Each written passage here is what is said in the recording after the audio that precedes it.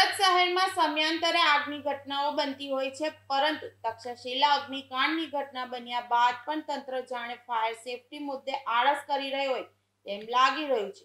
Supreme અને હાઈકોર્ટના આદેશ હોવા છતાં સુરતની સરકારી અને ખાનગી શાળાઓમાં ફાયર એનઓસીનો અભાવ છે, જે દાવો સુરત આમ આદમી પાર્ટીના નગર પ્રાથમિક શિક્ષણ સમિતિના વિપક્ષી સભ્ય રાકેશ હિટપરાએ કર્યો છે. રાકેશ હિટપરાએ આક્ષેપ કરતા જણાવ્યું છે કે સુરતની સરકારી સહિત ખાનગી શાળાઓમાં ફાયર એનઓસી નો પૂરેપૂરો અભાવ છે.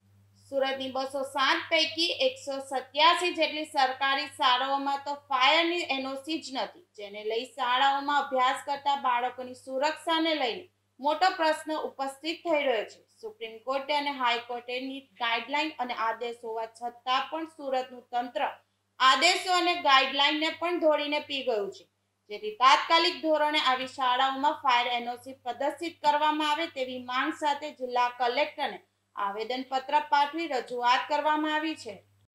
આજે કઈ રજૂઆત કરવા જી, આજે અમે શિક્ષણ સમિતિના સભ્ય અને વિરોધ પક્ષ નેતા એવા રાકેશભાઈ હિરપરાની આગેવાનીમાં અમે કોર્પોરેટરો અને સુરત શહેરના સંગઠન સાથે માનનીય કલેક્ટરશ્રીને આવેદનપત્ર આપવા આવ્યા છીએ કે સુરત શહેરની અંદર સુરત મહાનગરપાલિકા સંચાલિત શાળા હોય કે પછી સુરત નગર પ્રાથમિક સંચાલિત શાળાઓ છે, જે બસો સાતમાંથી એકસો સત્યાવીસ શાળાઓની અંદર ફાયર સેફટી નથી અથવા ફાયર એનઓસી આપવામાં નથી આવ્યું. તો આ જે બાળકો ત્યાં ભણી રહ્યા છે, તો એમની સુવિધા સુરક્ષાનું શું?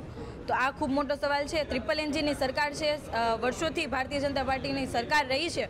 તો હજી પણ કેમ બાળકો માટે આવું વિચારવામાં નથી આવતું હજી પણ બાળકોને કેમ આવી દુર્ઘટના વારંવાર થતી હોય છે? તો પણ કેમ ફાયર સેફટીની સુવિધા કરવામાં નથી આવી? તો એ બાબતે અમે કલેક્ટરશ્રીને આવેદનપત્ર આપવા આવ્યા છીએ કે તમામ નગર પ્રાથમિક શિક્ષણ સમિતિની સ્કૂલોની અંદર ફાયર એનઓસી અને ફાયર સેફટીની સુવિધા